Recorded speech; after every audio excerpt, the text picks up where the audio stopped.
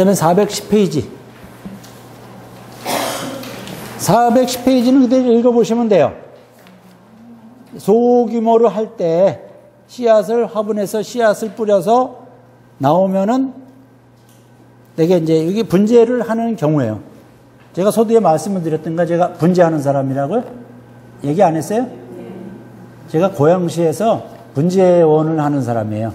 그래서 이런 강의는 제가 잘 못해요. 그래서 이게 강의 3시간 하고 나면은 그날은 엄청 피곤해요, 집에 가면. 집에 가서 하루 종일 일하고 나면은 덜 피곤해요. 맨날 하던 일이니까. 그래서 제가, 야, 교수님들은 하루에 5시간, 6시간 어떻게 강의를 하나. 직업적인 거는 저는 일을 하면 안 피곤해요. 직업적인 거는 어쩔 수가 없는가 봐요. 그래서 제가 분재원을, 분재를 하는 사람이기 때문에 여러분 이제 여기에 보면 분재 얘기가 이제 조금씩 나오기도 하고 분재 용어가 있기도 하고 그래요. 그래서 그렇게 하는데 분재는 대량으로 안 하고 이렇게 소규모로 해요. 소규모로 해서 그걸 충실하게 뭐 크게 기르는 게 아니고 작아도 아름답게 모형이 좋게 그렇게 길러서 고가를 받는 그런 직업이 있기 때문에 이렇게 그려놨습니다. 보면은 보통 3, 4월에 한번 볼까요? 그림을 3, 4월에 파종을 해서 그 글씨가 잘 안 나는데 하루 동안 물에 침적이라는 얘기예요. 하루 동안 물에 침적시킨 것을 이렇게 화분에 파종을 해서 그죠? 위에 다시 4월 하순경에 씨앗이 나왔죠. 그럼 다시 밑에 그림으로 보면 1년 정도 되면은 화분에 있기 때문에 별로 크지를 않아요. 많이 커야 뭐 2, 30cm 정도. 그러면은 다시 왼쪽 그림을 한번 보면은 직근은 자른다. 뿌리 뻗음이 되는 것은 옆에 측근 옆으로 뻗은 나무는 뿌리는 남기고 직근은 자른다 그러면 그랬는데 왜 그러는가 하면 분재는 작은 화분에 들어가 있겠죠. 큰 화분에 아니고 작은 화분에 들어있기 때문에 땅 속으로 깊게 뻗은 거는 필요가 없어요. 깊게 뻗은 거.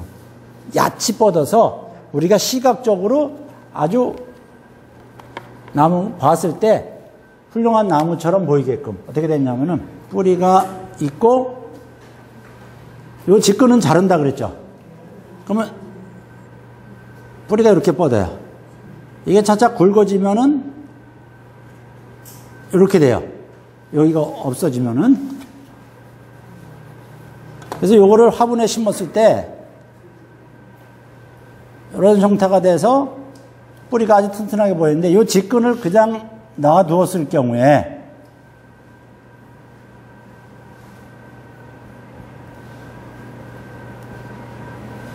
이렇게 돼요. 요 요것이 달라져요. 이 측근이 많이 나오면은 이게 없어지고 옆에서 나오면은 여기가 빨리 굵어져요. 이런 식으로. 이게 없어져서. 뿌리, 나무는 항상 한, 한 부분이 없어지면은 그 외에 자랄나가는 본성, 본능이 있기 때문에 그 외에 뿌리가 발달을 하게 돼요. 밑에 뿌리를 자르면 옆으로 발달을 하게 돼요. 이, 이 나무하고 이 나무하고 봤을 때 느낌이 어떤 게 좋아요? 이게 상당히 좋죠. 든든하게 보이잖아요. 뭐 태풍이 불어도 안 넘어갈 것 같은 물론 30cm밖에 안 되지만 느낌이 그렇다는 얘기예요. 분재를 만들어서 자연이라고 하지만은 분재를 제가 만들었다고 표현을 했잖아요. 만드는 건 자연이 아니죠. 그죠? 만들었으니까. 그래서 분재를 이제 싫어하는 분도 많이 계신데 나무를 못 살게 군다. 비비 틀은다. 잘 자라는 걸 못 자라게 했다. 그런데 모든 것은 다 목적이 있어요. 그죠? 뭐 성형도 뭐 성형도 하잖아요. 뭐 성형도 하지 말아야지. 그죠? 근데 이 도심에 있는 사람 또는 뭐 시골에 있더라도 자기가 뭐 갖고 싶고 도심에 있는 사람도 그 산에 가서 보고 시골에 가서 볼 수는 없잖아요. 나무를 가꿔서 이렇게 작은 나무를 보더라도 딱 보면은 시골에 정자나무, 아람들이 정자나무가 생각이 나고 그런 느끼는 거예요. 이걸 보고 자연을 느끼는 거예요. 그러기 위해서 만드는 거예요. 자연은 아니야. 자연을 느끼라고 만들어 놓은 거예요. 요 작은 나무라도 형태가 봤을 때 아주 큰 나무처럼 느껴지는 30cm이지만은 아 우리 시골에 30m 다는 정자나무 같은 형태를 띠고 있다. 라고 느껴졌을 때 그 나무는 비싸겠죠. 그 문제가 잘 된 나무하고 무슨 뭐잘안 된 나무하고 어떻게 구별을 하느냐? 어떤 소나무라 그러면은 이렇게 구부러져 갖고 이러한 형태의 가지가 뻗어서 이런 형태를 연상을 해요. 그럼 우리가 이 도로가에 많이 있는 느티나무를 생각을 하면은 느티나무는 가지가 이렇게 자라지를 않아요. 느티나무 가지가 어떻게 자라냐? 도로가의 느티나무를 한번 보세요.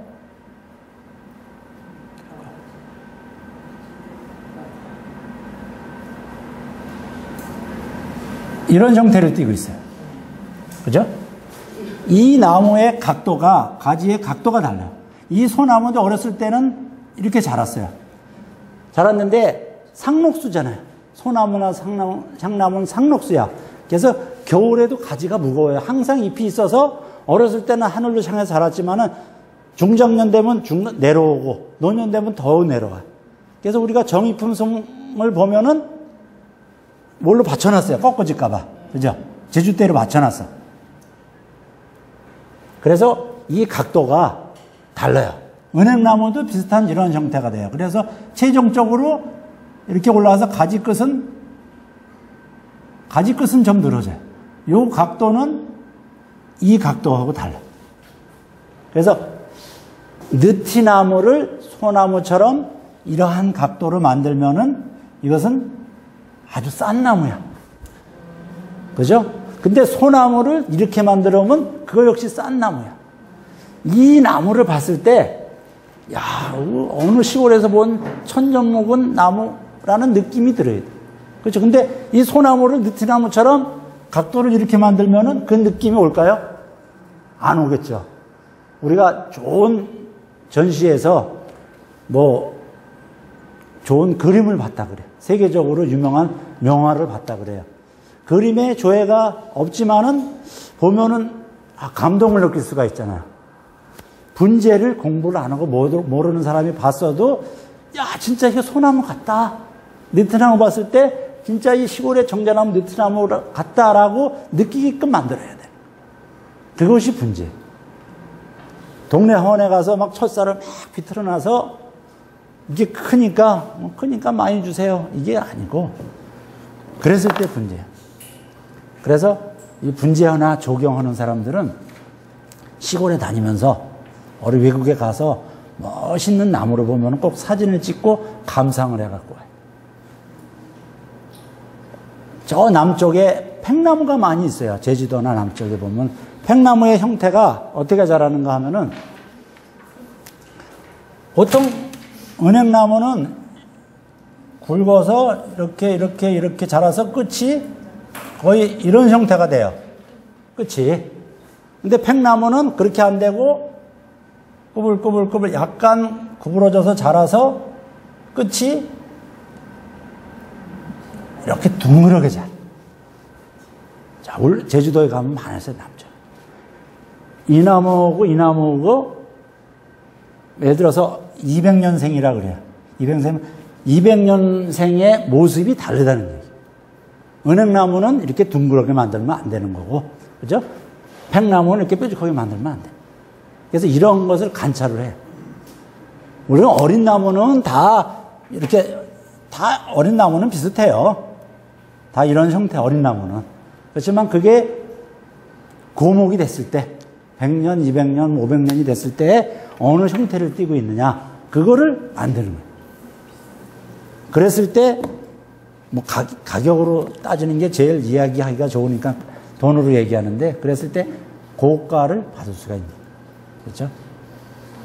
그렇습니다. 예. 그래서 여기서 그 다시 그림 볼게요. 410페이지. 그래서 그 밑에 직근은 자른다 하는 얘기를 설명하기 좀 길어졌는데 직근은 자르면은 옆으로 이렇게 퍼져서 아주 시각적으로 보는 느낌이 아주 좋게 되는 겁니다. 그래갖고 다시 화분에다가 옮겨 심었죠. 그런 식으로 해서 이거를 차차 옮겨 심고 다음에 더 큰 화분에다 심고 한 나무 한 나무 별도로 심어서 훌륭한 나무를 만드는 겁니다. 분재도 못 자라게 하는 게 아니고 비료 열심히 줘요. 열심히 줘서 빨리 자라면은 또 전지하고 또 자라면 또 전지해서 빨리 자라야 상품이 되니까 못 자라게 하는 것이 아니에요. 형태를 만들 뿐이지. 잘라서 형태를 만들 뿐이지. 1년에 비료 많이 줘서 다섯 번 자른 거하고 비료 안 줘서 한 번밖에 안 자른 거하고 차이는 많겠죠. 그러니까 비료도 많이 주고 연구를 많이 해요. 형태를 중, 요시하기 때문에 나무마다 나무마다 다 다른 형태를 만들어야 되기 때문에 그렇습니다. 음. 그 다음에 삽목. 삽목 아시죠? 흔히들 꺾꽂이라 그래. 꺾어서 꽂는 거. 그죠? 나뭇가지를 개나리, 옛날에 시골에서 버드나무, 버들강아지를 잘라서 우물가에나 울타리에다 꽂으면은 개나리가 잘 퍼지죠. 그걸 꺾어서 꽂는다 그래서 꺾꽂이, 꽂을 삽자 삽목이라고 합니다. 삽목은 실생법과 함께 종묘 생산에는 가장 많이 이용되는 방법인데 실생법에서 할 수 있는 좋은 장점을 가진 무성 번식법의 하나이다. 했습니다. 아까 소두에 소나무 씨를 뿌려서 몇만 개를 씨를 뿌려서 최종적으로 도태시키고 도태시키고 30년 후에 하나 둘을 남긴다 그랬죠. 그 하나 둘을 남겼어. 그 나무는 아주 성질이 훌륭한 나무예요. 그 훌륭한 나무를 계속 번식을 해야 되겠죠. 근데 훌륭한 나무에서 씨앗을 뿌려서 씨앗을 따서 뿌리면은 다시 또 몇, 몇백 가지가 나와. 그러니까 또 씨앗을 뿌릴 수가 없죠. 그 나무에서 가지를 잘라서 삽목을 하는 거야, 그때는. 그러면은 만 개를 잘라서 꽂으면은 만 개가 다 똑같죠. 어미를 담는 거예요. 그게 삽목 번식의 장점이에요. 그게. 그래서 뭐 베고니아나 뭐 산세베리아나 이런 거 아니면은 다육식물 같은 거 그거는 잘라서 꽂으면 그대로 똑같게 나오잖아요. 그게 삽목이잖아요. 그죠? 그렇습니다. 종묘상산에는 가장 많이 이용되는 방법인데 신생법에서 사용할 수 있는 좋은 장점을 가진 무성 번식법의 하나다. 무성 성이 관련은 안 돼 있어. 보통 씨앗이 맺으려면은 숫꽃이 암술머리에 묻어서 그걸 수분된다 그러죠. 그 다음에 수정이 돼서 씨앗이 생겨서 번식이 되는 걸 암수가 관련이 있기 때문에 유성 번식이라 그래. 근데 이거는 암수 관련이 없어요. 가지 하나만 꺾으면 돼. 순나무 가지 꺾어서 삽목을 하면 순나무가 되는 거고 암나무 가지 꺾어서 삽목을 하면 암나무가 되는 거예요. 그래서 무성 번식법의 하나이다. 그다음에 수목의 가지, 나무의 가지, 줄기 뿐만 아니라 뿌리, 잎 등을 이용하여 완전한 독립 개체를 만들어내는 번식법으로서 한 번에 대량 생산이 가능하다. 뭐 만 개, 이만 개 한 나무에서 잘라서 꽂으면은 뭐 대량 생산이 가능한 거겠죠. 나무의 가지 줄기를 잘라서 삽목을 하게 돼요. 대개 줄기를 잘라서 하는 것은 뭐 삽목 잘 되는 거, 개나리나든가 뭐 철쭉 같은 거 많이 되겠죠. 그 다음에 선인장 같은 거는 대개 줄기를 잘라서 하죠. 선인장은 그 잎이 없죠. 그죠? 다육식물은 잎이 있죠. 구분하는 것이 잎이 없으면은 선인장. 선인장은 잎, 잎 대신 뭐가 있죠? 가시가 있죠. 잎이 변해서 가시가 된 거예요. 그래서 이게 다육인가 선인장과 구분하는 방법은 가시가 있는 것은 선인장, 가시가 없고 잎이 없는 것은 다육식물이에요. 또 뿌리를 꺾어서 잘라서 번식하는 방법도 있습니다. 종류도. 그 다음에 잎을 잘라서 하는 것. 다육식물 잎 하죠? 다육식물 또는 산세베리아, 베고니아 이런 것도 잎을 잘라서 꽂으면은 거기서 순이 나오죠. 그렇습니다. 이런 걸 갖다가 무성 번식법 또는 삽목 꺾꽂이라고 합니다.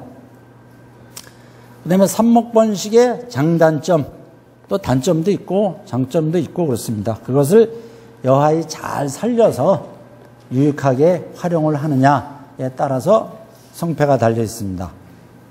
장점으로서는 모수의 유전 성질을 그대로 계승함으로 동일한 성질의 나무를 한 번에 많이 생산할 수 있다. 그렇죠? 모수 그대로 하는 거죠. 은행나무, 순나무가 필요하다. 그러면 순나무만 잘라서 번식을 하면 되겠죠. 순나무가 뭐에 필요할까요? 도시에 가로수를 한다고 예를 들면은 열매가 떨어져서 냄새가 많이 나죠. 근데 도시의 은행나무가 공해에도 강하고 보기도 아름답고 공해 흡수력도 상당히 강해요. 그 해로운 그 가스를 흡수력 겨울에는 또 잎이 져서 주위에 햇빛도 잘 들어가고 그렇습니다.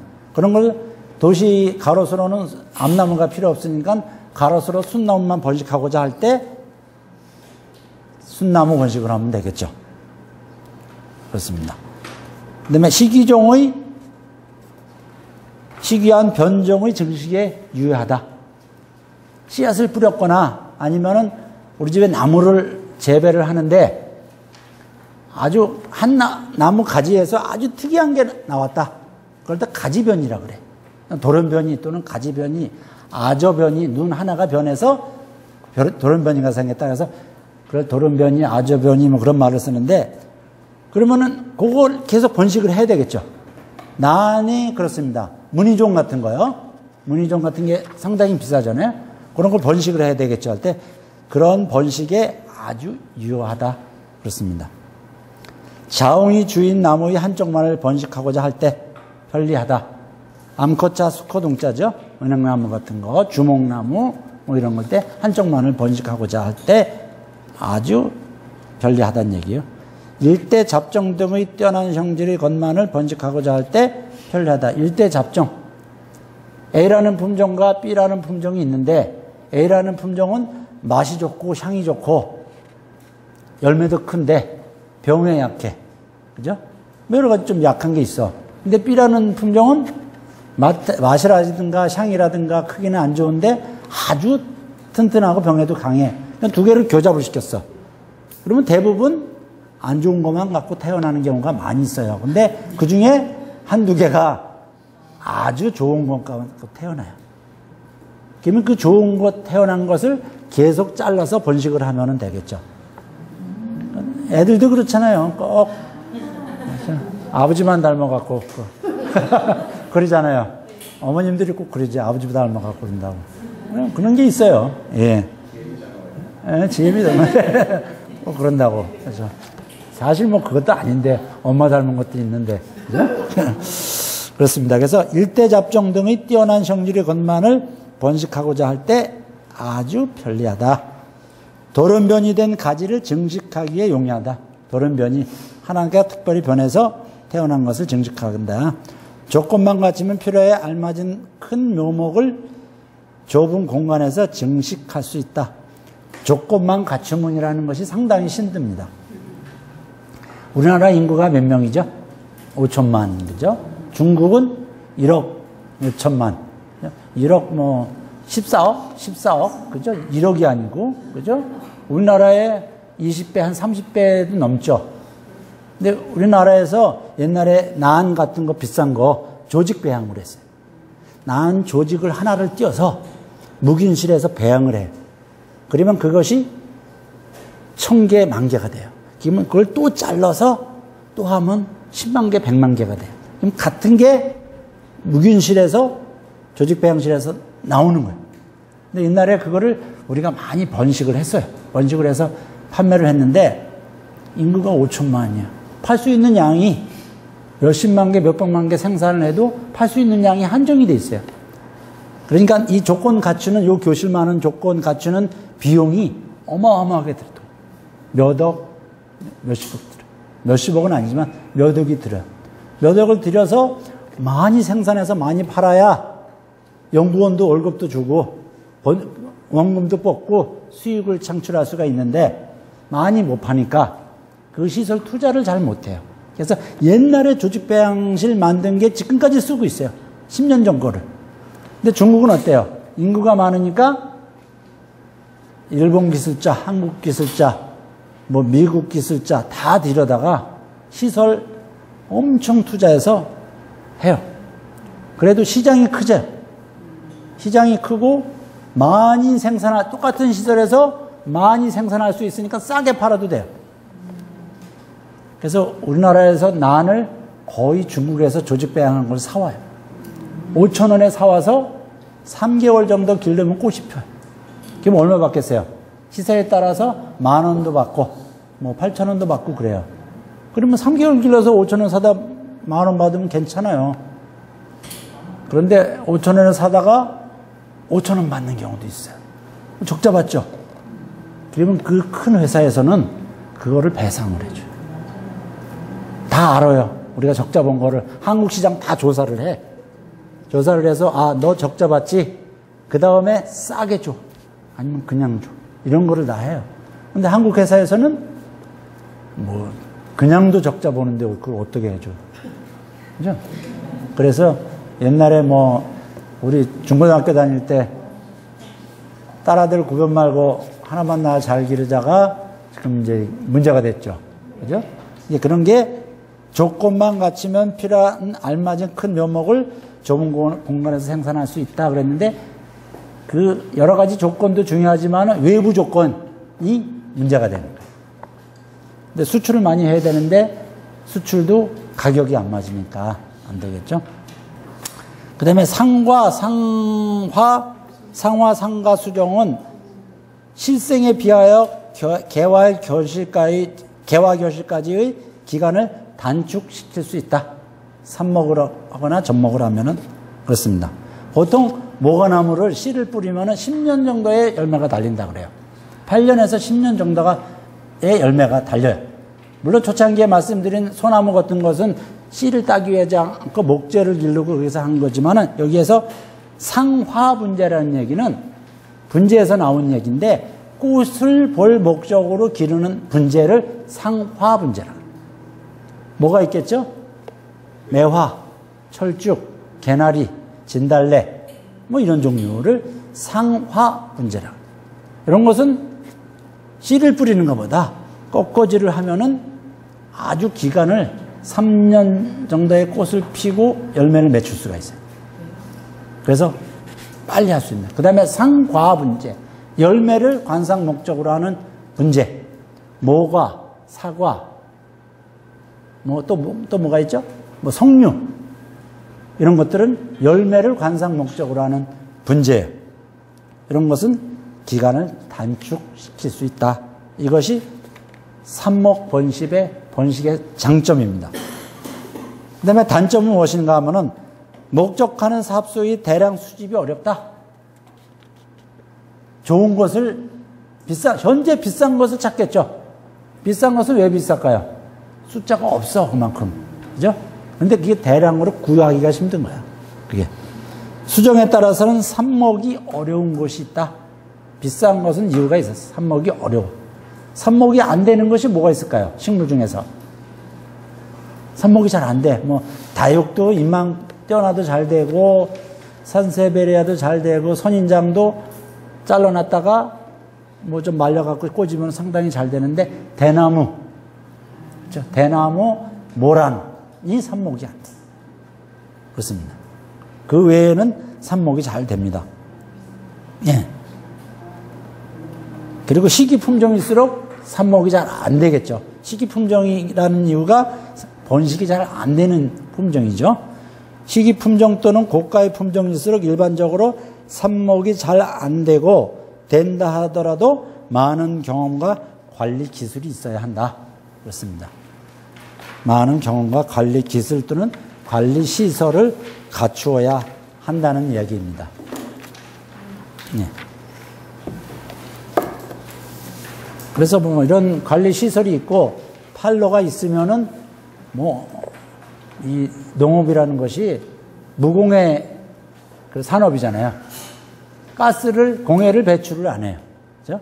엄청 국가적으로 좋고 농민이라든가 기타나도 상당히 좋은 건데 이 판로가 문제. 제가 블루베리를 블루베리하고 그 black chokeberry 아로니아를 생산을 많이 했어요. 그래서 블루베리는 처음부터 많이 안 하고 아로니아, 블랙 초코베리라는 걸 상당히 많이 했는데 그 단점이 뭐냐?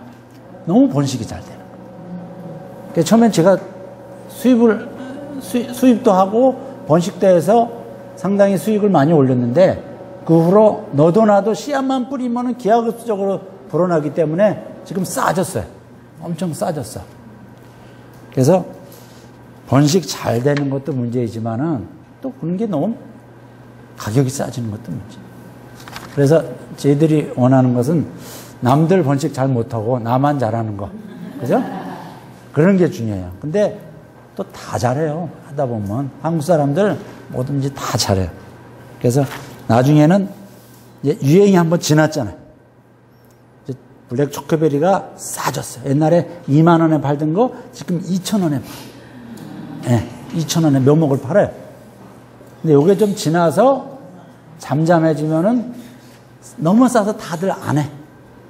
그때 또 생산을 해도 괜찮아요. 그래서 먹거풍으로 먹거풍은 아니지만은 옛날 유행했던 것이 다시 돌아와요. 옛날에 집에서 고무나무 같은 거 많이 재배했죠. 고무나무 하는 사람 지금 별로 없어요. 근데 요새 고무나무가 또 비싸. 그런 식으로 이게 또 다시 돌아오는 것들이 있어요. 옷도 그러잖아요. 유행이. 그죠? 그런 것도 있습니다. 그 다음에 412페이지. 이건 용어입니다. 용어. 그, 이제 책을 사서 보다 보면은 이 원예 용어는 한자가 많고 그리고 원예를 배우지 않았기 때문에 생소한 것들이 상당히 많이 있어요. 우리 동창들이 여자들이 많은데 이제 살면서 이웃집에서 커피 한 잔 하면서 얘기하잖아요. 야, 너 뭐 뭐 했었냐? 그러면 아, 나 원예 전공했어. 그러면은 온갖 나무를 집으로 다 들고 온대. 그럼 이제 큰일 난 거예요. 이름도 모르고 할지도 몰라. 그래서 이사를 해서 다음부터는 절대 원예 썰이를 안 한다. 절대 원예가 나왔다고 안 한대요. 그런 식으로 이 책을 사서 보려면은 아, 생소한 거야. 단어가. 그래서 뭐 인터넷도 찾아보고 사전도 찾아봤는데 그런 거잘안 나와요. 그게. 그래서 한자로 되어 있으면 그나마 한자 사전 찾아보면 아 수간삽이면 아, 나무 숫자에다가 줄기 간자구나. 나무의 줄기라는 얘기구나. 이렇게 좀 이해가 되기는 해요. 그래서 한자 표기를 많이 합니다. 원래 한자도 한국말이죠. 그죠? 한자 없이는 표기할 수 없는 부분이 많이 있죠. 가지, 삽목 이러면은 가지, 잔가지, 줄기로 삽목하는 것을 다 가지 삽목이라 그래. 줄기 삽목이라 그래. 줄기를 꽂는다 그래서 줄기라 그러지는 않죠. 가지가 오래 묵고 또 줄기가 될 수도 있고 그런 거니까. 그 다음에 줄기 꽂이에서는 수간삽, 밝은이, 밝은 력이 강한 나무, 뿌리가 아주 잘 내리는 나무, 개나리라든가 뭐 버드나무 종류는 줄기를 꼽아도 삽목이 잘 된다. 그 다음에 지삽이라는 얘기는 가지 지자죠. 가지나 뭐 장가지 여러 가지를 꼽는 것. 단간삽이라는 건 15cm 이하, 장간삽에는 15cm 이상. 녹지삽, 반숙지삽, 숙지삽, 쉬면지삽 이런 거는 녹지에는 가지가 아직 녹색일 때 봄에 순이 나와서 아직 갈색으로 변하지 않았어요. 녹색일 때 은행나무 같은 거는 녹색 아주 연한 순도 잘라서 꽂으면 뿌리가 잘 내려요. 그런 걸 녹지삽 나무에 따라서 그렇게 잘 내리는 것이 있습니다. 그 다음에 반숙지삽 봄에 순이 나와서 목지라 되어도 완전히 굳어지지 않고 봄에 순 나온 거 지금 정도 살짝 굳어져 있어요. 갈, 진한 갈색은 안 됐지만은 반 정도 굳어져 있을 것 같다가 반숙지삽. 숙지삽은 해까지가 완전히 목질한 것을 숙지삽이라고 그러고 쉬면지삽은 겨울에 쉬면을 한번 걷고 나서 봄에 잘라서 꽂는 것을 쉬면지삽이라고 합니다. 보통 가수에서 가수나 여러 가지에서 겨울 동안에 가수원 전지를 하죠. 그걸 두었다가 삽목을 하기도 해요. 물론 과수는 대뭐 접목을 하기는 하지만은 그렇게 삽목을 하는 것을 쉬면지삽이라고 합니다. 그 다음에 줄기꽂이에서는 그 줄기 가지의 끝 부분을 제어한 줄기 사용 그렇게 놨습니다. 보면은 줄기가 또 이렇게 있으면은 눈이 있죠, 눈이. 눈이 있는데 눈 앞에는 가지가 이렇게 붙어 있던 잎이 붙어 있던 부분입니다. 잎 하나에 눈 하나가 다 있어요. 모든 나무는 그렇습니다. 그래서 보통 이렇게 잘라서 삽목을 하게 되는데 삽목을 하면 요것을 경삽 요 부분도 경삽이라 그러고 정상 부위의 눈을 정아삽 또는 천삽이라고도 해. 천삽. 하늘 천자 써서 천삽이라고 합니다. 그런 부분을 그렇게 용어를 익혀두시면 됩니다. 보면 이제 뒤에 보다 보면은 그런 것이 또 나와요. 아, 천삽이 좋다. 경삽이라도 좋다. 그렇습니다. 그래서.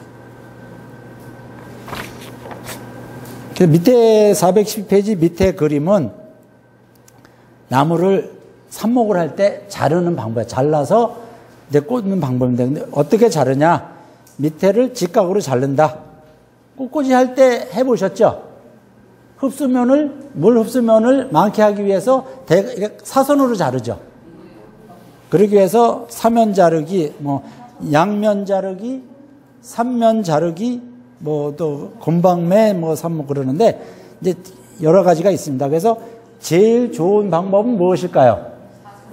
그렇죠. 뭐 사선이 사면이라면 사선보다 면적이 좀 많은 거 양면이나 삼면이나 면이 좀 많은 게 좋습니다.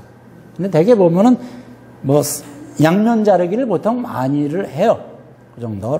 그런데 그런 거는 삽목이 잘 안 되는 종류일 경우에 그렇게 하고 삽목이 잘 되는 종류일 경우에는 그냥 전지가위로 잘라서 그대로 삽목을 하면은 보통 잘 나와요. 보통 근데 꼽는 깊이는 여기 보면 눈이 보통 3개, 4개 정도 있죠. 4개 정도 있는데 하나는 이 정도 꼽고 하나는 이 정도고 하나는 이렇게 꼽았어요. 눈이 하나, 둘, 셋, 넷 요것도 하나, 둘, 셋, 넷 있고 하나, 둘, 셋, 넷 어떤 게 좋을까요? 1번, 2번, 3번 왜 그냥 적당히 중간이니까 근데 이렇게 보면은 이게 되게 뿌리가 없죠. 나무를 쫙 잘랐으니까 뿌리가 없어서 모래에다가 다 꽂아놨어. 그럼 뿌리가 없는 것이 상당히 이게, 이게 아주 힘든 겁니다. 그래서 이 가지에서 수분 증발이 일어나요. 가지가 말라. 그러면 많이 꽂혀 있는 면이 좋아요. 이 눈은 안에 들어가 있어도 괜찮아요. 눈은 안에 들어가는 거지. 많이 꽂혀 있는 부분이 좋습니다. 근데 뿌리가 잘 내리는, 내리는 종류는 밑에만 살짝 꼽아도 되는데 되게 그 밑에 살짝 꼽으면 쉽게 건조가 되기 때문에 뿌리가 잘 안 내려요. 많이 꽂혀있면 있는 부분이 좋습니다. 413페이지 밑에를 보세요.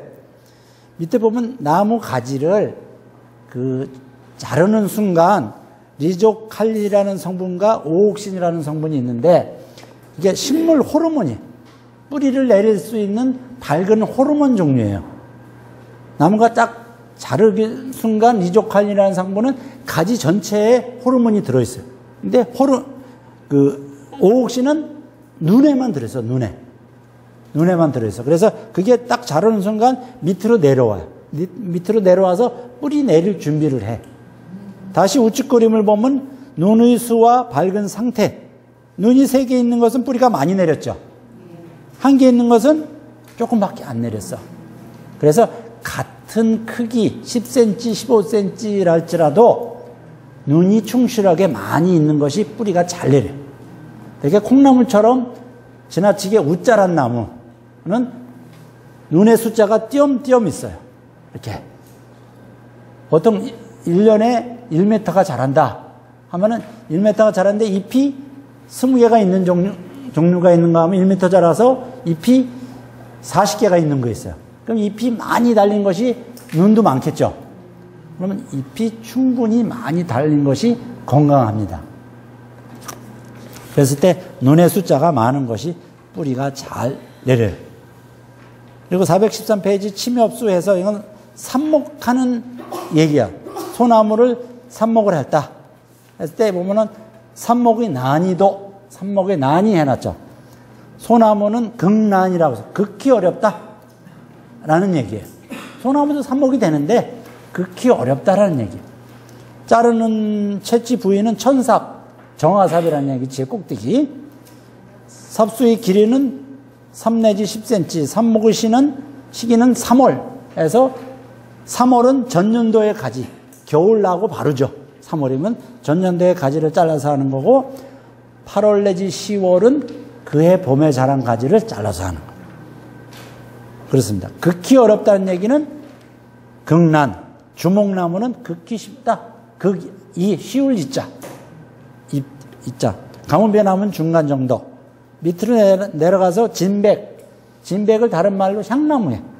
한국말로 향나무고, 그래서 이제 분재를 하다 보니까 그 진백이라는 말이 많이 나오는데, 그 분재가 중국에서 시작을 해서 한국을 거쳐서 일본으로 모든 문화가 거의 동양 문화가 그렇듯이 일본으로 건너갔어요. 근데 우리나라에는 일제 시대가 있었고 6.25가 있었고 이런 동안에 그런 문화가 침체기가 있었어요. 근데 일본은 뭐 미국에서 원자포탑도 떨어지고 그렇게 있었지만은 그런 것을 계속 유지를 잘 해왔습니다. 그래서 분재가 자기네가 종주국이라고 할 만큼 많이 발전을 거듭해 왔어요. 거듭해 오고 연구도 많이 하고 체계를 시켰어. 다시 우리나라가 분재를 경제가 성장하고 분재에 눈을 뜨고 일본에서 다시 이런 쪽도 이론도 도입을 하고 나무도 수입을 하면서 향나무를 일본 말로 진백이라 그래. 그래서 그 나무 나무 수입하면서 말 그 자체가 들어온 거예요. 진백이라고. 우리가 컴퓨터를 컴퓨터 문화를 받아들이면서 컴퓨터라 그러죠. 그 식으로 그렇게 된 거예요. 그렇다고 뭐 컴퓨터를 다른 말로 바꾸지는 않죠. 그렇지만은 진백은 한국말 향나무라는 것이 있어. 그래서 향나무라고 해야 돼. 근데 모르는 사람들은 진백 따로 있고 향나무 따로 있는 줄 알아. 분재하는 사람도 그런 사람이 있어요. 어. 근데 그거는 모르는 얘기. 아까 해성 있고 흑성 있듯이 흑성은 일본식 표현이고 해성은 한국식 표현이고 또 한, 한국, 순수 한국말로선 해성이 곰솔이라는 말이 있고 그래서 그것을 용어를 쓰더라도 알고 쓰면 돼. 근데 모르고 창나무를 갖다 아 이거 진나무냐 이렇게 물어보면 답답한 이야기죠, 그죠? 그렇습니다. 음. 그래서 알고 사용하면 됩니다. 그래서 그런 식으로 이것도 보시면 되는 겁니다. 삽목하는 것도 여러 가지 뭐 해당을 삽목한다, 단풍나무를 삽목한다 이럴 때 그렇게 보시면 되는데 근데 55분이 됐어요. 3시 5분, 55분이 됐는데 5시까지죠. 근데 오늘 수료식을 해야 되는데 좀 일찍 끝내래요. 그래서 잠깐 5분간 쉬었다가 여기 갖고 온 소재 실습을 하고 이렇게 끝내겠습니다.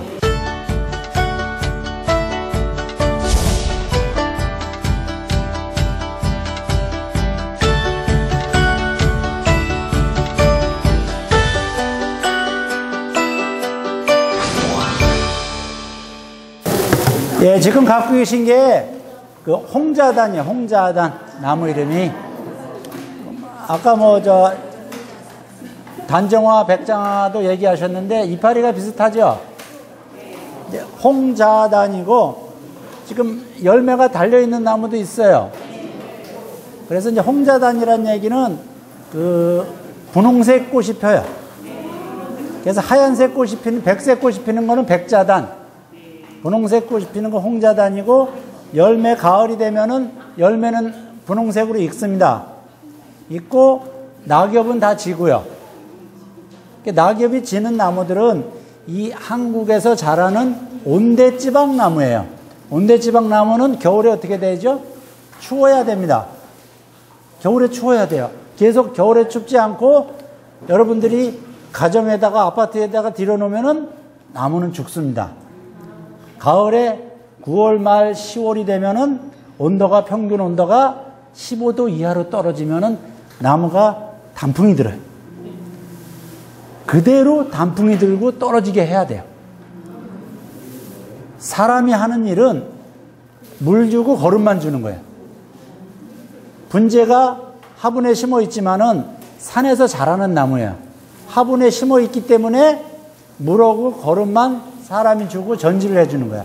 환경은 그대로 놔두셔야 돼. 외부에서. 겨울에 추우면 추운 대로 놔두고, 봄에 따뜻해지면은 평균 15도가 되면은 다시 싹이 나오고, 그걸 그대로 해주셔야지, 그렇게 안 하고 실내에 들여놓으시면은 사람이 잠 안 자고 계속 활동하는 것과 똑같아요.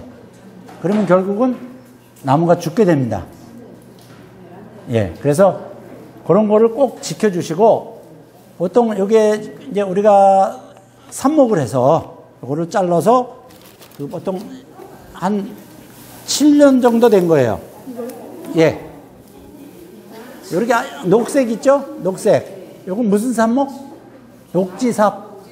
녹지삽 또는 더, 요거보다 더 밑에 쪽에 굳은 거는 반숙지삽. 그죠? 그렇게 얘기를 하는 여기 잎이, 잎이 상당히 많이 있죠? 잎이 떨어지고 나면은 떨어진 위치에 자세히 보세요. 눈이 조그맣게 하나씩 있어요. 잘라주고 나면은 여기 보세요. 다시 요 부분을 잘라주고 나면은 잎이 어쪽에 있어요? 오른쪽에 있죠? 여러분들 보시기에 좌측에 좌측의 가지가 길게 나옵니다. 그 다음에 우측의 가지는 짧게 나와. 이걸 다 정아우세라 그래. 정상부의 눈이 세력이 우세하다.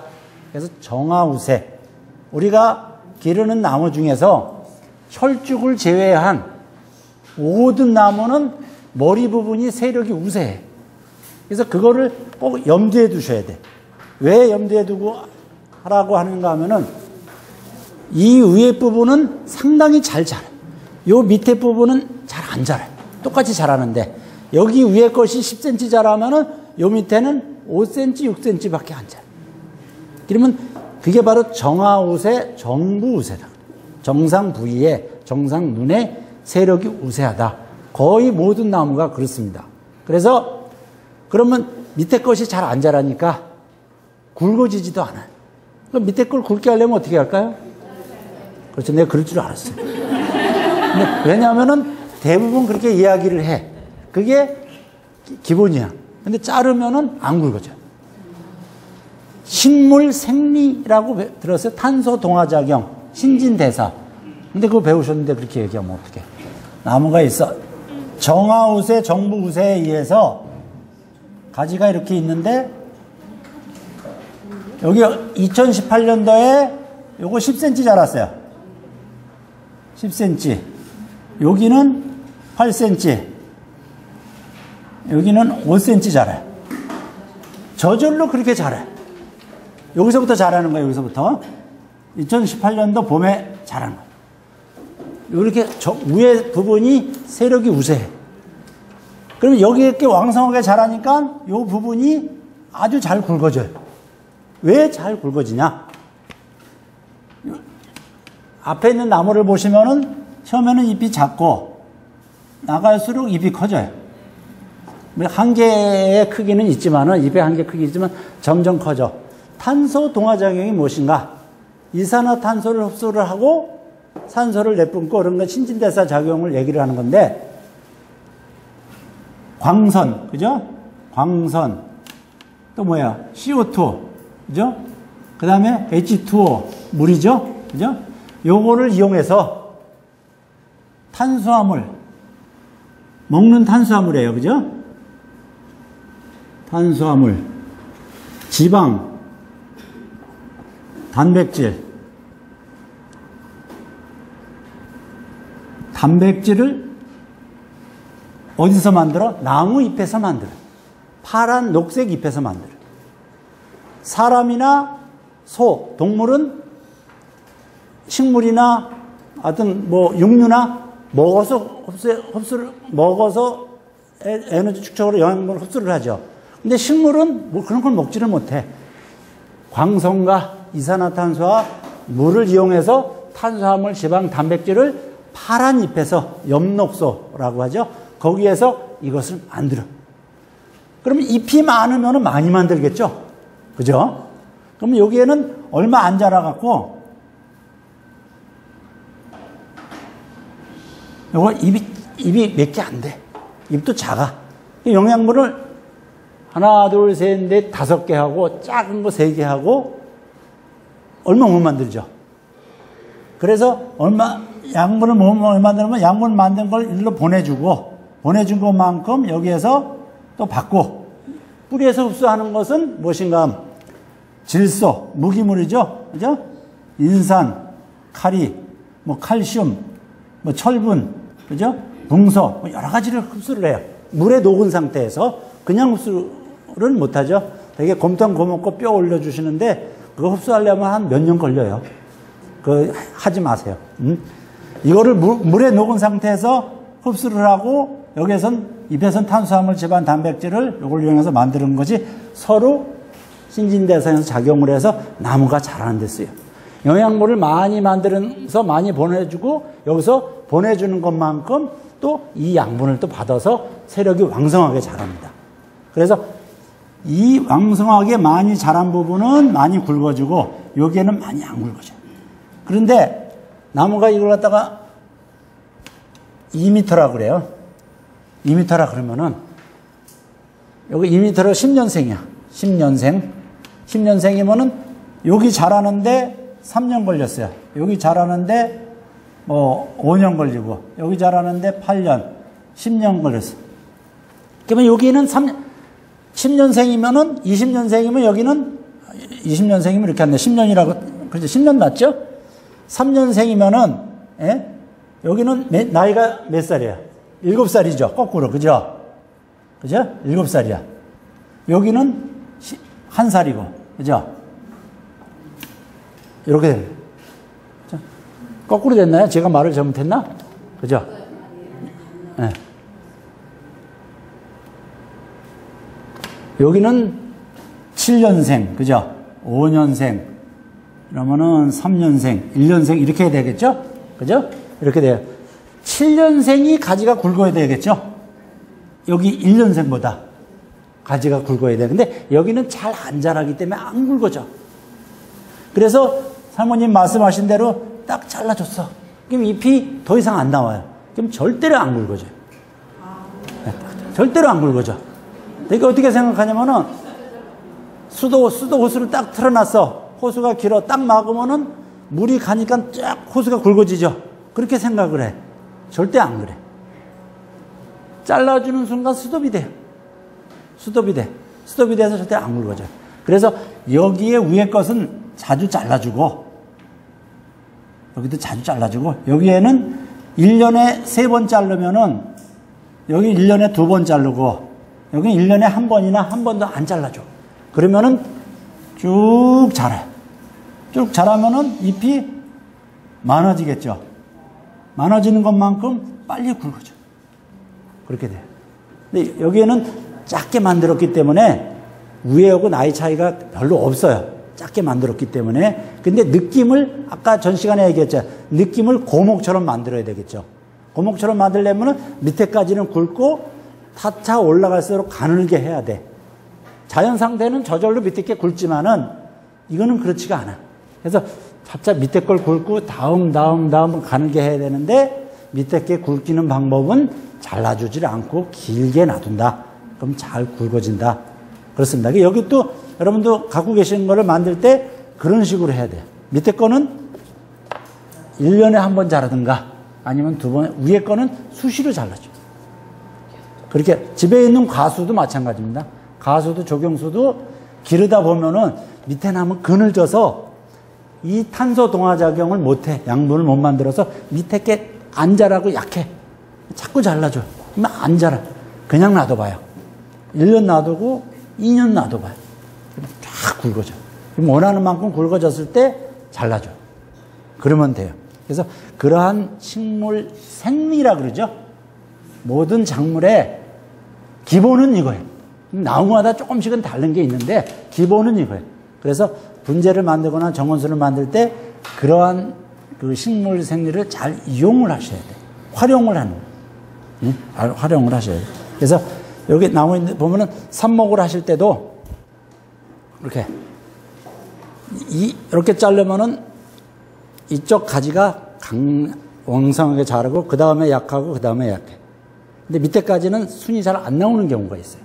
그래서 제가 여러분들이 만들 때 아주 작은 나무를 만들고 싶어요. 작은 만들 만드실 때 요 끝에만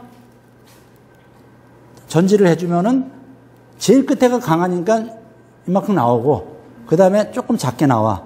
그러면 나무는 가는데 이렇게 크게 돼. 그러면은 이걸 봤을 때 고목이라는 느낌이 안 오죠. 나무는 볼펜보다 가는데 위에가 이렇게 크면은 그랬을 때 작게 짧게 짧게 잘라서 요거를 이파리 하나나 둘 남겨놓고 이 정도 잘라줘. 그랬을 때 어쪽 방향으로 아 지금 여기 잘라줬을 때 나무가 이쪽으로 자랐으니까 그 다음에 저쪽으로 자랐으면 좋겠다 할 때 제일 끝에 잎을 그쪽을 남겨. 그렇죠? 제일 끝에 게 강하다 그랬잖아요. 그렇게 해주는 거야. 그렇게 해도 안 됐을 때 분재에는 철사거리라는 게 있어요. 철사로 이렇게 감아서 유인을 해주죠. 좌양자, 우양우, 아래로 위로 그렇게 해줘요. 그래서 한 1년이나 2년 있다가 다시 그 철사를 풀러주면 그대로 고정이 돼 있어요. 그거를 나무 괴롭히려고 하는 것이 아니고 나무 형태를 고목의 형태를 만드는 거예요. 사람한테 귀여움 받으라고 그렇게 만드는 거예요. 예. 근데 모르는 분들은 나무를 괴롭힌다. 괴롭히면 나무가 늙어 보이니까 괴롭힌다. 그렇게 표현을 하지만은 근데 그 모르고 하는 말씀이고 이제 우리가 분재하는 사람들이 그거를 이해를 시켜야 돼. 이해를 시켜야 되는데 그 이해를 못 시켜. 잘 몰라서. 설명을 하자니 서두에도 얘기했죠. 안 가르쳐 주는 사람이 있다 그래. 안 가르쳐 주는 사람의 반은 모르는 사람. 그죠? 이게 여러분도 어디 가서 우리 친구들, 여자들 친구들 모양 딴 데로 이사 가지 말고 공부를 해야 돼. 아, 나 원예 공부했다. 과수 공부했다. 그래가지고 아는 것만큼 가르쳐 주는 거예요. 그죠? 아는 것만큼 안 가르쳐 줘도 아는 것만큼 즐기는 거고. 그렇습니다. 그래서 삽, 삽목을 할 때, 이런 거 삽목을 할 때, 지금 상당히 크지만은 제가 하나 갖다가 잘라볼게요. 다 꺼냈어요? 그러면 지금 화분이 상당히 커요, 나무에 비해서. 이렇게 화분이 크면은 좋을 것 같지만 안 좋은 점도 있어요. 뭐 어떤 점이 안 좋은가 하면은 나무가 생장하는데 하루에 필요한 수분의 양이 이거 화분 안에 충분히 흡수하고도 남아요. 남으면 그 다음에도 물을 안 줘도 돼. 그러면 집에서 편하고 좋은데 그러면은 나무가 그만큼 생장이 더 돼. 하루에 수분을 다 흡수해갖고 그 다음날 또 주고 또 흡수하면 또 주고 했을 때 물이 수분이 흡수하고 나면은 새롭게 물을 주면은 이 뿌리 사이사이에 흙 사이사이에 약간의 공간이 있어요. 흙 사이에. 거기에 뿌리가 산소 호흡을 해요. 호흡을 하고 산소를 흡수해서 이산화탄소를 내뿜어요. 뿌리는 산소 호흡을 해요. 여기는 이산화탄소를 흡수하고 산소를 내뿜지만은 뿌리는 그렇게 호흡을 해요. 그러면 그 가스가 많아. 이산화탄소 가스잖아요. 그러면 물을 주면은 물을 해서 중력에 의해서 물이 내려가죠. 내려가면서 밑으로 그 가스가 다 새어나가요. 새로운 물을 주면은 물이 꽉 찼다가 밑으로 쭉 빠져나가고 나면은 다시 그 빠져나간 공간으로 수분이 위에서 따라 들어가겠죠. 아니 공기가. 공기가 따라 들어가면은 공기도 새롭게 공급을 하는 거예요. 가스를 다 내뿜고. 그거를 하루에 한 번씩 했을 때 나무가 더 건강해진다는 얘기예요. 그래서 집에서 큰 화분에 심지 말고 물론 뭐 시간이 없어서 물 줄 시간이 없기는 하겠지만은 제일 좋은 거는 하루에 한 번 물 줄 수 있는 것이 가장 좋고. 이게 위에다가 요새는 흙을 3년에 한 번, 4년에 한 번 분재일 경우에 분갈이를 해주는데 매일 물을 줄 때 위에다가 거름을 올려놔요. 3년에 한 번, 4년에 한 번 분갈이 하는데 안에다가 거름을 놓으면은 그게 너무 오래되면은 뿌리가 썩는 경우가 있어요. 그래서 위에다 올려놓는데 거름을 하루에 한 번 주면은 하루에 한 번 물에 의해서 거름이 녹아. 근데 이틀에 한 번 주면은 두, 이틀에 한 번 거름이 녹는 거예요. 근데 매일 거, 거름이 녹을 때 나무가 더 잘 자라겠죠. 그래서 그런 효과가 있어서 화분이 너무 큰 것도 안 좋아. 식물이 자란 면에서는 그렇고 또 관상 측면에서는 나무가 크면 화분이 크면은 나무가 작아 보여. 그랬을 때 이것도 상당히 화분이 크죠. 그랬을 때 이렇게 봐서 어떤 자연의 웅장한 그런 느낌이 있을까요? 화분이 크면은 나무가 작아 보이는데 그런 게 없잖아요. 그랬을 때 상품 값어치도 떨어져요. 그렇기 때문에 3년 내지 4년에 분갈이를 한번 하기 때문에 화분이 작아도 충분히 뿌리가 움직일 수 있어요. 3년 만에 한번 분갈이를 해주면은 묵은 뿌리 자르고 더러운 흙 털어내고 그러면 새 흙을 넣어주면은 새 흙에는 질소, 인상, 카리, 칼슘, 철분, 붕서 여러 가지 미량 요소가 있어요. 미량 요소는 되게 추가적으로 주기도 하지만 흙에 많이 섞여 있어요. 3년에 한 번 분갈이 한다는 얘기는 뿌리도 잘라주지만은 새로운 거름, 무기질 비료도 준다는 얘기예요. 그렇기 때문에 분재는 정원에 있는 것보다 물만 잘 주면 더 오래 살 수 있다. 계속 새 뿌리 잘, 묵은 뿌리 잘라주고 새 흙 넣어주니까 뭐라 그래요? 회춘한다 그러죠? 그런 식으로 회춘할 수 있다. 물론 뭐 말에 어폐가 있을 수도 있지만은 사실 그렇기도 합니다. 그래서 분재 잘 키운 분재가 뭐 대를 물려서 몇 대를 물려서 기르기도 해요. 근데 자연 상태에서는 한 군데 있기 때문에 뿌리가 계속 멀리 뻗어야죠. 뻗다가 뻗다가 갈 데 없으면은 죽어. 조건이 좋으면은 뭐 500년이고 1000년이 살지만 그렇지 않으면 말라서 죽고 또 다른 나무가 나오고 그래서 자연 상태는 그냥 전체적으로 이 산이 푸르게 보이고 아름다운 거지 한 나무 한 나무 보면은 그렇게 아름답지 않아요. 뭐 벌레가 먹어서 썩은 부분이 있고 가지가 꺾어지고 가지가 남쪽 한쪽 방향으로만 자라고 다 그래요. 그러면 분재나 정원수는 그러면 안 되겠죠. 그러면 상품 값어치가 없어요. 그렇습니다. 한번 이거 잘라볼게요. 위에까지는 되게 많이 잘라요.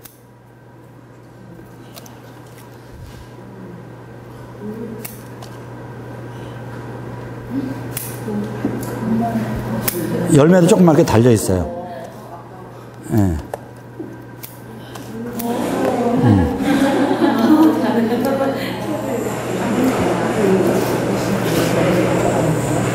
되게 형태를 유지해 주려면은 거름 주고 전지를 많이 해줘야 돼요. 그래서 원하는 형태를 유지할 수가 있어요. 그래야. 어. 이렇게 되면 밑에까지가 넓어지고, 그죠? 요 가지가 상당히 가느니까 그냥 놔뒀을 경우에 요 위에가 상당히 굵죠. 요 가지보다 굵게 돼. 위에까지보다. 그래서 이게 잘라주면은 새롭게 가지가 또 나오기는 하는데 새롭게 나올 기간이 상당히 걸려요. 뭐 10일이고 15일이고 상당히 시간이 걸려. 그래서 또 조그맣게 나오면은 여기 굵으니까 아, 더 너는 덜 굵어질 필요가 없다. 또 잘라줘. 그러면 그 기간 동안에 계속 자라죠. 빨리 비대가 돼. 여기가. 그렇습니다. 그래서 그렇게 모든 종류는 그 나무마다 조금씩 다르기는 한데 그 나무의 특성을 알고 살, 살리면은 아주 빨리 큽니다. 그래서 이렇게 지금 잘라낸, 잘라낸 요 가지를 삽목을 하는 겁니다. 이렇게 하면은 지금 정화삽이죠. 천삽 끝에가 붙었으니까. 그죠? 이렇게 잘라서 중간에는, 중간은 경삽이고, 그죠? 그래서 이런 거를 이렇게 해서 밑에를 좀 이렇게 훑어내요. 훑어내서 반이나 3분의 2 정도 꽂아 놓으면은 이 뿌리가 지금 없으니까 물을 말리면 안 돼.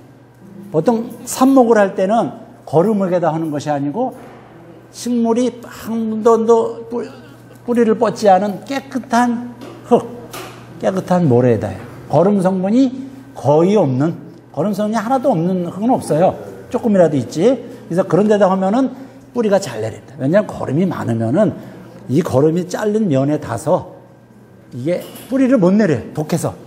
그래서 거름 성분이 거의 없는 흙으로 하는 것이 뿌리가 잘 내립니다. 그리고 뿌리가 내린 후에 비료를 주거나 아니면 그 후에 옮겨 심는 거예요. 그러면 보통 국화 같은 건 꽂아 놓으면 일주일이면 싹이 나오는데 이 나무 종류는 몇 개월 걸려요. 그러면 지금 꽂아 놓으면은 뭐 한 2개월, 3개월 후나 아니면 내년 봄에 다른 데다 옮겨 심는. 그렇게 해서 기르는 겁니다. 물에 꽂아도 되는 종류는 있는데 이 종류는 잘 안 돼요. 보통 뿌리가 아주 잘 내리는 종류, 토마토나 뭐 그런 것들 그러면 물에 꽂아놔도 잘 내려요, 토마토가. 토마토, 가지 뭐 이런 종류들이 잘 내립니다. 그래서 여러분들 갖고 계신 건 이제 전지를 해보라고 가위를 드렸는데 한번 해보세요. 지금 시간이 한 10분도 안 남았어요. 겹치기 이렇게 뭐, 뭐, 이만큼. 아, 아주 잘라도 돼요. 그렇게 해도. 예, 예, 예, 예. 그것도 뭐, 요, 요, 요 정도. 예. 예. 예? 내가 원하는 모양대로 얘들을 쳐내고 싶은 그렇죠, 그렇죠. 그래도 강, 게 있는데 밑에는 안 자라고 위에는 그렇죠. 위를 자꾸 자르고 밑에는 놔둬. 그러면 돼. 얘는 이렇게 나왔는데 놔둬도? 예, 돼요. 여기까지 위에나 좀 잘라요. 예. 이제 사용 목적에 따라서 한 개 잘라버리셔도 돼요. 잘라버려야 된다고요? 그렇지, 잘르셔도 돼. 아, 두 개는 다 살려도 되고요. 살려도 되고. 그렇죠. 이렇게 긴 가지는 어떻게 해요? 그런 거는 땅에서 나온 거는 아예 없애버리세요. 아, 이렇게 긴 거요? 그런 것도, 그건 없애버리세요. 근데 사용 목적에 따라서 난두 개 가지고 세 개로 길러내겠다. 그러면 그대로 놔두시고. 예, 예. 예. 이거 이렇게 옆에 다 있는데 얘는 안 잘라줘도 돼요? 그렇죠. 안- 이렇게 안 자라도 되고, 이렇게, 이렇게 해줘도 되고. 뭐 철사로 이렇게 해주든가, 뭘로 이렇게, 이렇게 매주든가, 그러셔도 되고. 그러면 한, 이 정도 이렇게 해주면 나중에 이대로 굳어요. 되게 아파, 아파트에 문을, 문이 요새 두껍잖아요. 겹으로 돼 있고, 상당히 두껍게 돼 있는데, 그거를 이렇게 그 햇빛 유리를 통해서 들어오는 것은 그 일반 식물이 자- 이용할 수 있는 빛은 거의 차단이 돼요. 비닐 같은 것이 가장 두꺼운 것이 0.01mm야. 근데 가라, 아파트 가라스는 10mm, 20mm죠. 그죠? 그러면은 그거는 0.1mm, 0.1mm인데 보통 뭐 1mm만 돼도 10배인데 100배가 되는 거예요. 유리 두께가. 그러면은 다 차단이 돼 갖고 식물이 이용할 수 있는 빛은 차단이 돼 갖고 그냥 환한 빛, 이 형광등처럼 환한 빛이 아파트 문 닫아 놓으면 그래서 아파트 문을 열고 열린 곳에 놔요. 그렇지 않으면은 밖에다 놓고 개인 주택 있는 분은 밖에다 놓고 그렇게 관리하셔야 돼. 그리고 겨울에도 잠을 잘 뿐이지 물은 흡수를 해야 돼. 그래서 보통 일주일에 한 번 내지 두 번. 그럼 왜 한 번 내지 두 번이냐? 집집마다 건조한 집이 있고 건조하지 않고 습한 집이 있어요. 그죠? 막 바람이 많은 분, 부는 집은 건조, 쉽게 건조하겠죠. 그래서 식물을 애정을 갖고 키워요. 강아지가, 아, 얘가 배고파서 우는가? 어디가 아파서 우는가? 유심히 보면 알 수가 있잖아요. 식물도 보면은, 아, 얘가 지금 조금 시들어 있다. 알 수가 있어요. 그런 걸 애정을 갖고 보는데, 보통 요 정도 화분이면은 이틀에 한 번 물을 줘요, 지금은. 가을 되면은 일주일에 한두 번. 겨울에는 2주일에 한 번이나 일주일에 한 번 정도. 그렇게 물을 줄 때, 물은 흠뻑 줘야 돼. 아까 물을 흠뻑 주면은 물이 내려가서 고- 묵은 공기를 밀어내고 새 공기가 들어간다 그랬죠. 겨울에도 한 번 주면 흠뻑 주고 자주 주는 거는 아니다. 그렇습니다. 그리고 이거를 화분에 기르기 힘드시면은 정원에 심으셔도 돼요. 월동이 충분히 가능합니다. 예, 예. 그대로 갖다 정원에 심으시면은 뭐 1년에 1m도 자라요. 엄청 잘 자라. 예. 공간이 좀 큰 데다 심어도 엄청 잘 자라요. 그렇습니다. 이거는 그러면 가운데 바람이 좀 통하게 속도 예, 속을 좀 따주는 것도. 예, 예, 예, 예, 맞죠. 예. 예? 아, 이게 높이 자라는 것이 아니고, 보통 한, 오- 아주 커야 1m. 1m고 옆으로 퍼져, 옆으로. 옆으로 이렇게 많이 퍼져, 반쯤 누워서 자라요. 누워서. 이게 작으니까 지금 이렇게 세워 있지만은 반쯤 누워서 자란다고 보면 돼요. 예. 아주 잘 자라요. 예. 근데 하시고 가위는 제가 가져가야 되거든요. 예. 조금 더 예, 32분인데 예. 아니 아니 손을 못 봐드리고 예, 예, 맹아지도 예, 예, 예, 예. 예. 음. 이제 오늘 끝을 내는 거로 하겠습니다. 이제 실습을 끝까지 다 보여드렸으면 좋겠는데 제가 다 하나하나 하고 그럴 시간이 안 되니까 가위는 걷어주시고요. 예, 감사합니다.